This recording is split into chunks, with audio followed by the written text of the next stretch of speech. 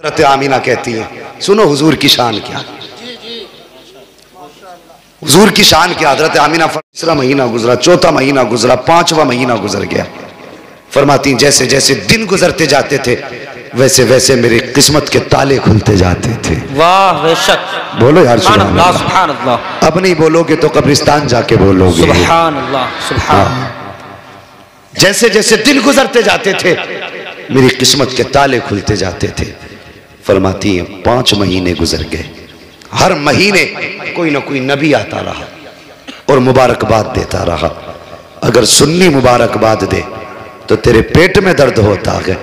नबी मुबारकबाद दे तो तेरी नानी मर जाती है। हैं? क्यों कलेजे फटते हैं तुम्हारे? हज़रत आमीना कहती हैं, अगर हज़रत आला हज़रत की हम बात करें तो कहते हैं, जी, वो तो बरेली वाले हैं। उन्होंने तो इश्क में कर दिया। चलो इन्होंने इश्क में किया नबी की अम्मी तो सच्ची कह रही हैं अगर मेरी आप ना मानेंगे तो कुछ नहीं जाता आपका। और नबी की अम्मी की अगर नहीं मानी तो कुछ नहीं रहता आपके पास फिर। बेशक। ये याद रखना। बेशक। अगर उनकी नहीं मानोगे तो बचेगा ही कुछ नहीं। बेशक। बात नबी की अम्मी की है। फरमाती है पाँच महीने गुजर गए।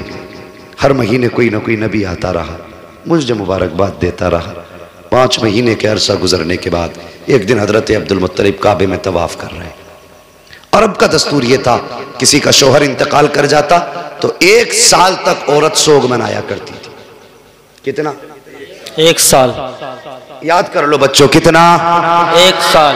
एक साल तक सोग मनाया करती थी। सोग में क्या था? खुशबू नहीं लगानी है बन सवर के नहीं निकलना है नए कपड़े नहीं पहनने हैं। साफ़ सुथरा नहीं होके निकलना है। ये सारी चीज़ें सोग में शामिल थी। तो ये वहाँ का दस्तूर था। हज़रत अब्दुल मुत्तलिब काबे का तवाफ कर रहे हैं। कुछ सरदार इकट्ठा हुए हरम शरीफ में आए। कहने लगे, अब्दुल मुत्तलिब कहा, जी, का काबे के मुतवली हो बेशक, खानदान कुरैश के सरदार भी हो बेशक। का एक बात है, कहा, क्या क्या बताइए, हमारे अरब का ये दस्तूर है कि नहीं? का कौन सा कि हमारे यहाँ किसी औरत का शोहर इंतकाल कर जाए? एक साल तक सोग मनाती है औरत। कहा हाँ है। का फिर, आमीना अपने शोहर का शोक क्यों नहीं मना रही है? इतना सुनना तो अब्दुल मुत्तलिब की आँखें सुर्ख हो गई, चेहरा जर्द बदन सर्द हो गया। गर्दन झुकी, कहने लगे, क्या कह रहे हो? कहा, हम नहीं कह रहे, पूरे मक्के की औरतें कह रही हैं। कहा, ऐसी कौन सी चीज़ तुमने आमीना में देखी है, जो मेरी आमीना सोग नहीं मगाना मना रही हो?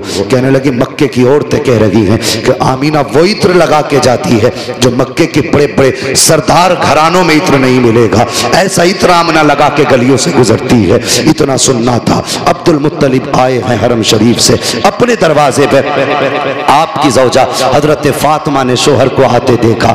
गर्दन झुकी है, कहते हैं, सरताज, आज चेहरा उतरा है।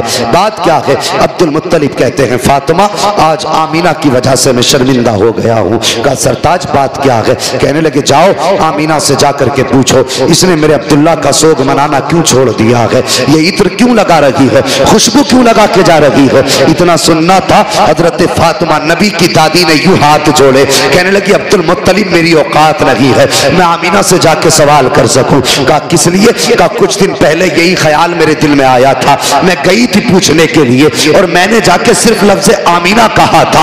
अगली बात तक नहीं कही थी। एक नूर उसकी पेशानी से निकला। मेरी पेशानी से टच हुआ। मैं बेहोश होकर ज़मीन पे गिर गई थी। कहा मुझमें औकात नहीं है।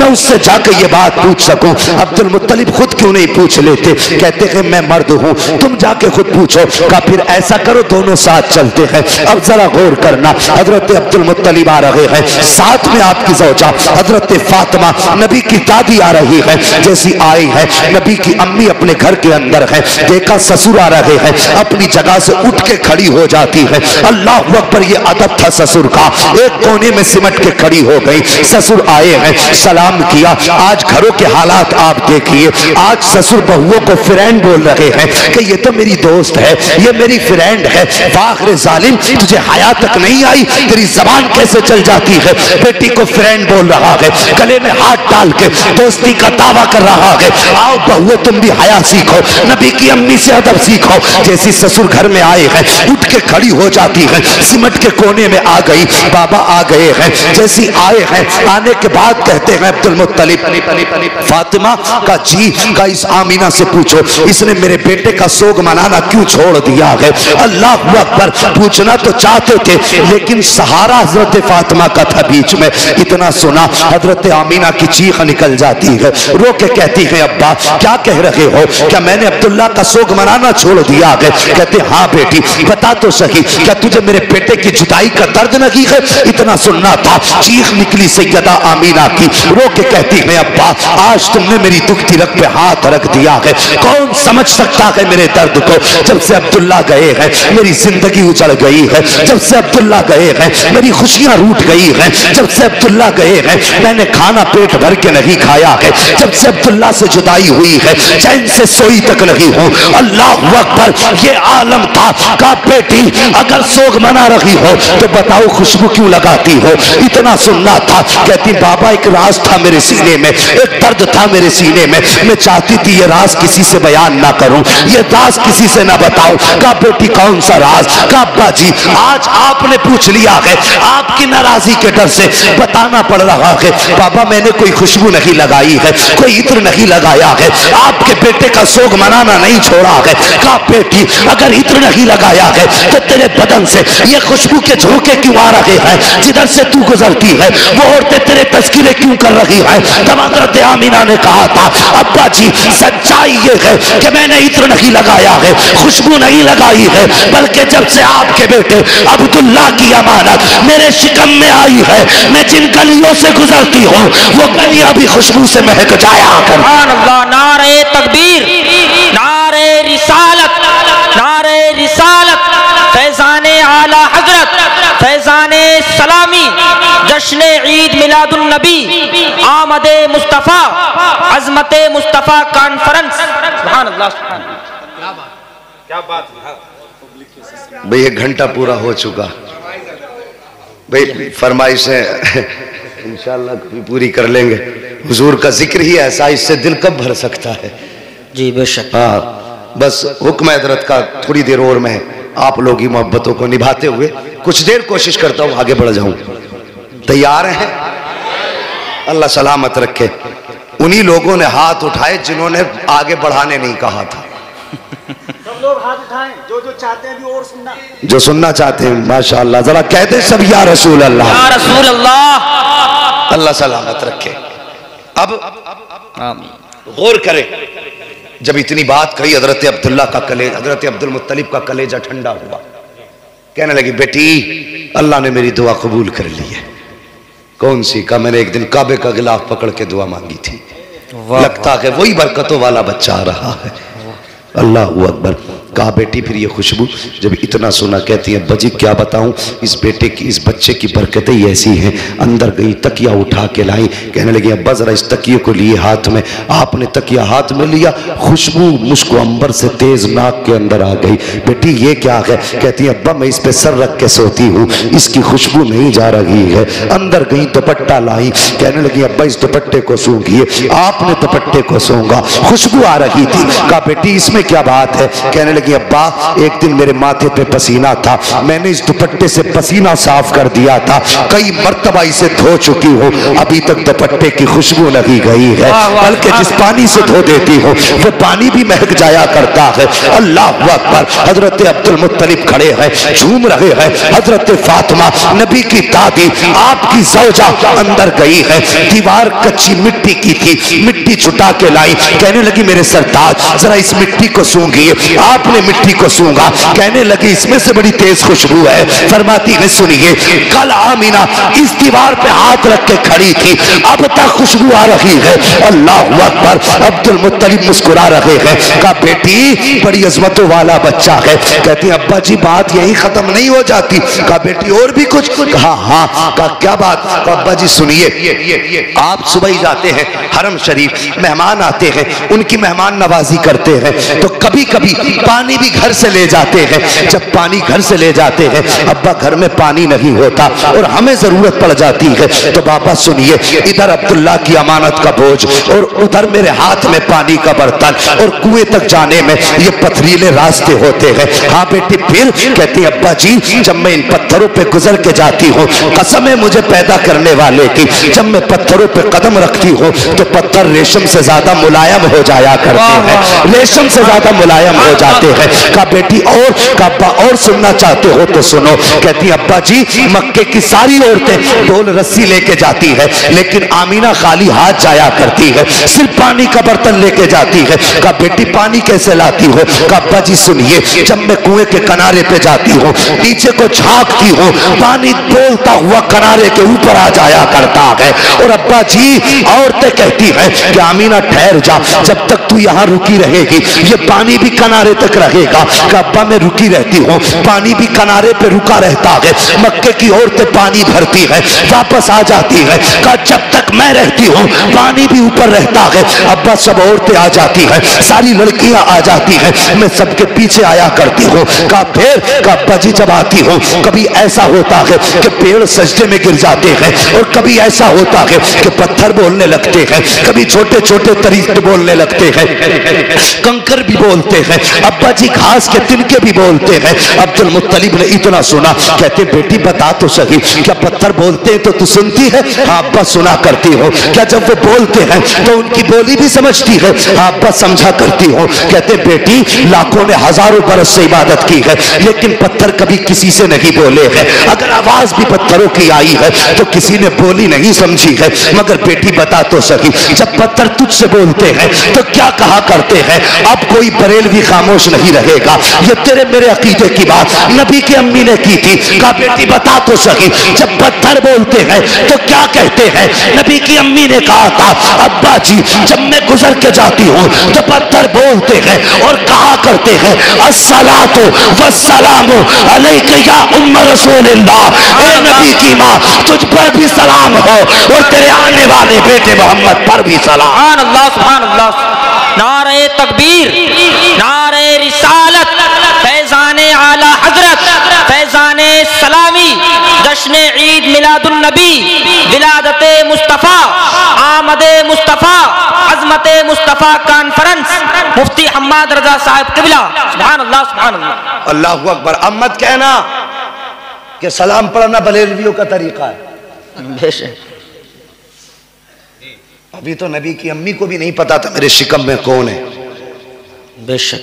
हज़रत अब्दुल मुत्तलिब भी नहीं जानते थे कि ये बच्चा है कौन। इतना जानते थे अजमतों वाला।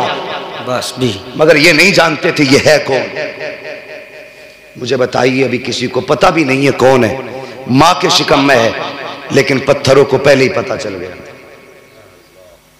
हम सलाम पढ़े तो बरेलवी। पत्थरों पे कौन सा फतवा लगाओगे? चलो, ये सुननी तो जलसे में सुन के जाएँगे कि सलाम पढ़ना चाहिए, आला हज़रत ने कहा है। लेकिन पत्थर कौन से जलसे में सुन के आए थे? हैं? क्या वो बरेली आए थे? या आला हज़रत वहाँ गए थे बताने के लिए? वो भी चौदह सौ साल पहले।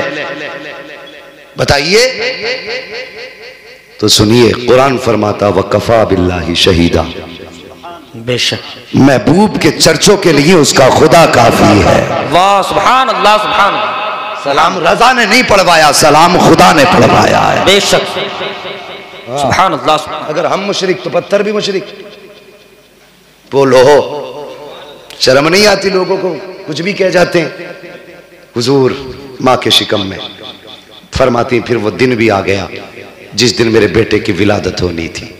सुनिए फरमाती, मेरे घर में उस दिन चराग में तेल तक नहीं था। और हर औरत को बच्चे की पैदाइश के वक्त किसी मददगार की ज़रूरत होती है। फरमाती, मेरे घर में कोई खातून भी नहीं थी। कहती, आज मुझे अब्दुल्ला की याद सता रही थी। आज मुझे अब्दुल्ला की याद रुला रही थी। मेरे दिल में ख्याल आया, काश आज मेरे अब्दुल्ला होते। मेरे घर में चराग भी जलता। मक्के के खानदान क्रैश की कुछ औरतें भी मेरे पास होती। फरमाती, इतना ख्याल का आना था। मेरी आँख का भी पहला आँसू का कतरा बहा था। फरमाती, फशक्कल जिदार अचानक मेरे घर की दीवार फटी। फतखला सलासुलनिस्बा तीन औरतें दाखिल हुई। उनके कद इतने बड़े थे जैसे खजूर के दरख्त लंबे होते हैं। चेहरे चाँद से ज़्यादा रोशन थे। कहती मैंने कभी ऐसे चेहरे नहीं देखे थे। मैं डर गई उन्हें देख के। और मैंने कहा तुम कौन हो? क्यों आई हो? कहने लगी उनमें से एक कहने लगी कि मुझे आदम की बीवी हवा कहा जाता है। वाह सुभान अल्लाह सुभान। दूसरी कहने लगी मुझे ईसा की माँ मरियम कहा जाता है। तीसरी ने कहा मुझे इस्माइल की अम्मी हाजरा कहा जाता है। सुभान अल्लाह सुभान फरमाने लगी क्यों आई हो? कहने लगी आमीना तुझे मुबारकबाद देने के लिए आए हैं। बेशक। किस बात की मुबारकबाद? कि तेरी गोद में जो बच्चा आ रहा है ना ये आम बच्चा नहीं बल्कि नबियों का इमाम आ रहा है। सुभान अल्लाह सुभान फरमाती है फिर मेरा घर पूरा रोशन। अचानक खुशबू मेरे घर में फैली। मैंने देखा मेरे सर की जानिब एक खातून हाथ में प्याला लेके खड़ी थी। उसमें कुछ मशरूब था। मैंने मुड़ के उसे देखा इतनी हसीन के मैं देखती रह गई। मैंने उससे कहा तू कौन? उसने कहा मैं जन्नत की हूरों की सरदार हूँ। वाह वाह सुभान अल्लाह हम मत कहना नबी मेरी तरह। मरदूद तू पैदा हो तो पूरा मोहल्ला नापाक कर दे। हाँ हुजूर की जलवा करी देखो। किस शान से हुजूर आ रहे हैं? फरमाती हैं कि बस ये मैंने देखा मैंने कहा तुम कौन हो? उसने कहा मैं जन्नत की हूरों की सरदार हूँ। कहा किस लिए आई हो? कहा रब ने तुम्हारी ताया बना के भेज दिया है तुम्हारी खिदमत के लिए। कहा फिर उस खातून ने मुझे दूध का प्याला पेश किया। फरमाती मैंने उसको पिया। कहती जब मैंने उसको पिया तो वो शहद से ज़्यादा मीठा था बर्फ़ से ज़्यादा ठंडा था। फरमाती मुश्क से ज़्यादा खुशबूदार था। अल्लाह अकबर दूध से ज़्यादा सफ़ेद ये आपने उसकी खसूसियतें बताई। कहती, उसका पीना था, फखराजा मिन्नी नूर। फिर मेरे जिसम से नूर निकला, यानी मेरे बेटे की विलादत हुई। अब सुनिएगा जवानों, बुज़ुर्गों, जरा दिल थाम के सुनना। अल्लाह अकबर, किसी भी खातून के शिकम से अगर बच्चा जन्म लेता है, हर माँ की ख्वाहिश होती है कि वो अपने बच्चे को देखे, उसकी आँख कैसी है, उसकी नाक कैसी है, उसका चेहरा कैसा है, उसके कान कैसे है लबो रुखसार कैसे है, देखने में कैसा लग रहा है। हर माँ की ख्वाहिश होती है कि वो अपने बच्चे को देखे, कि उसका बच्चा कैसा है। मगर सुनिए, नबी की अम्मी बयान फरमाती है, जब मेरे बच्चे की विलादत हुई, मेरे दिल में भी ख्वाहिश थी कि मैं देखूँ मेरा बच्चा कहता, कैसा है। फरमाती है, लम्मा वजातु काना मकहूलन, मगसूलन, मुअत्तरन, मकसूरन मुतहरन काना साजिदा। नबी की अम्मी कहती है, जब मैंने लख्त जिगर को जन्म दिया और मेरे दिल में आया, मैं देखूँ मेरा बेटा कैसा है, फरमाती है, मेरी सबसे पहले नज़र जब बेटे की आँखों पे पड़ी है, क्या देखती हूँ? मेरे बेटे की आँख में सुरमा लगा हुआ है, मेरे लाल की आँख में सुरमा लगा हुआ है, फरमाती है, मकहूलन बालों में तेल पड़ा हुआ है मकसूरन नाव कटे हुए हैं, मकसूलन गुस्ल करके आ रहे हैं मुअत्तरन खुशबू ऐसी थी कि पूरा मक्का महक रहा था, अल्लाह अकबर फरमा रही है अकाना साजिदा आते ही सजदे में सर रख दिया है फरमाती, मैंने बेटे को सजदे में देखा। मैंने देखा, होठ हिल रहे हैं। और होठ भी कौन से? जिसके बारे में बरेली के इमाम कह के गए हैं, पतली पतली गुले कुछ की पत्तियाँ, उन लबों की नजाकत पे लाखों सलाम। फरमाती, मैंने कान लगा के सुना, मेरा बेटा कह रहा था रब हबली उम्मती रब हबली उम्मती, या अल्लाह मेरी उम्मत मेरे हवाले फरमा दे, या अल्लाह मेरी उम्मत मेरे हवाले फरमा दे, अल्लाह अकबर। फरमाती मैंने अपने लाल को उठाया, गोद में लिया। फरमाती, फिर बादल का टुकड़ा आया। अचानक मेरा लाल मेरी गोद से गायब हो गया। फरमाती, इकलौता था। बाप के इंतकाल के बाद पहली बार गोद में खुशी आई थी।